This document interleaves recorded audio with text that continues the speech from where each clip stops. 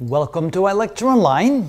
On the last video, we found the equation that describes something that's akin to the probability of finding a particle penetrated into what we call a potential step if the energy of the particle is smaller than the energy of the step.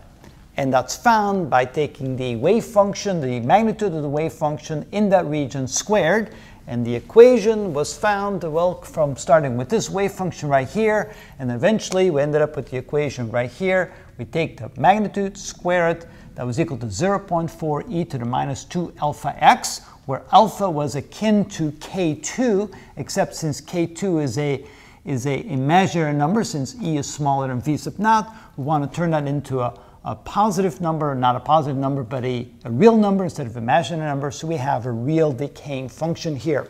And we found a value for alpha, which was equal to this in our previous video as well. So now what we're going to do is get a feel for how big that penetration depth is.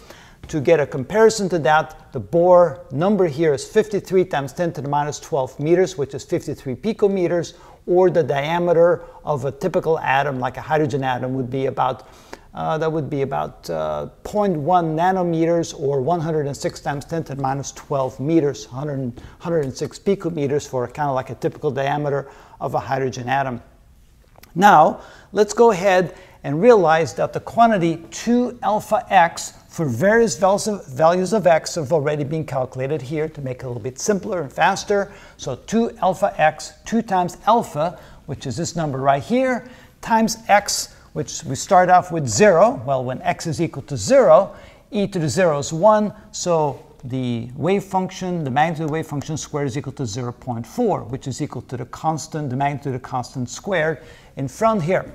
Then if we let x equal 10 times 10 to the minus 12, that would be 10 picometers, which is one-tenth the diameter of an atom, then we have 2 alpha x to be equal to 0.1374. So what we need to do then is, is take this quantity, put a negative value in front of it, make that the exponent of the number e, and then multiply times 0.4. So we take 0.1374, we put a negative in front of that, we use that for the exponent, and then we'll multiply that times 0.4, and we get 0.349 essentially.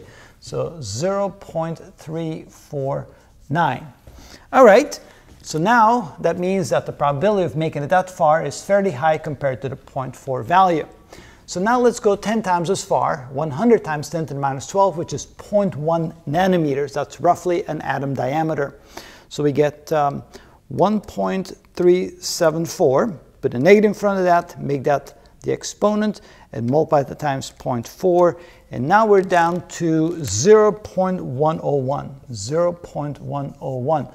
In other words, we have about a 25% probability for any particle entering the, um, entering the barrier. We can see that uh, there's about a 1 in 4 chance, or 0.1 over 0.4 chance, 25% probability that the particle will get that far, about 1 atom diameter.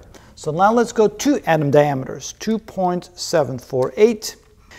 Put a negative in front of that, make that the exponent of E, and multiply times 0.4.